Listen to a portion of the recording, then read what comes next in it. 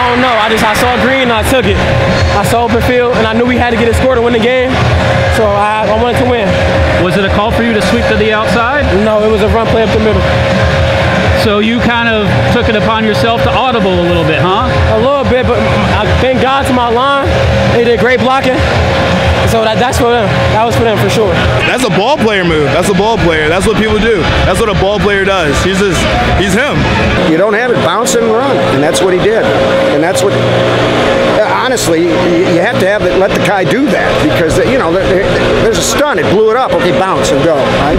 And he found the seam. A hard fought game, and, and you know you talked about there was some amazing play. There were some major mistakes by both teams. You know, and who was going to survive the mistakes, right? And, and, make a big play in the end, and that's what Sean Martin did. You know, he, he had a great game. Sean, big interception for you early, set up your touchdown. Brandon sets you up with a touchdown. What's it about you guys in the secondary? Hey, it's a brotherhood. Hey, this is what we believe in. We work on it every day in practice, as you saw earlier. Listen, we, we believe in each other. We got faith in each other. That's all it is. Oh no, we're, we're competitive with each other. We always try to beat each other at our own games. We try to see who can get the most touchdowns, the most pass breakups, the most tackles. That's what makes us a good secondary. How much were you trying to sniff one out then because he got one earlier? Oh, I was, I was, I was feeding for one so bad. I was like, I got, I can't let Sean get an interception before me. Have more interceptions than me. The second overtime, you guys were on your heels. What was it about the D that came up here? We just knew, we just knew we had to get a stop, get the offense the ball, and score and get out of here.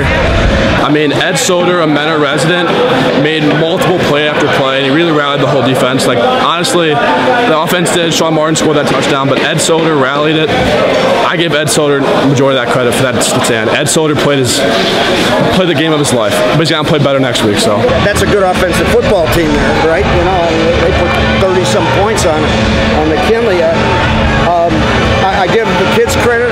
coaches credit because Mentor was finding some things, all right, and they made some adjustments, and the kids kept their kept their fight and kept their uh, just intensity going and concentration. We, we blew up coverage or so earlier.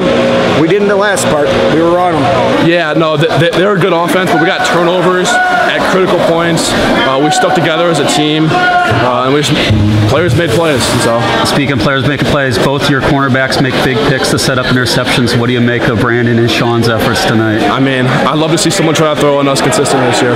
With, with me and Eugene on the edge and those guys back there, try it.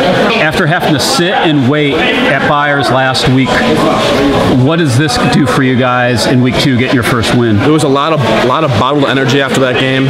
Uh, we were we were devastated and did not be able to play. We were ready for Springfield. Uh, getting a win like this against Mentor, our trajectory is going through the roof right now. Man, it feels great. It's amazing. Get a first win in our W after we didn't have a game last week. Thank God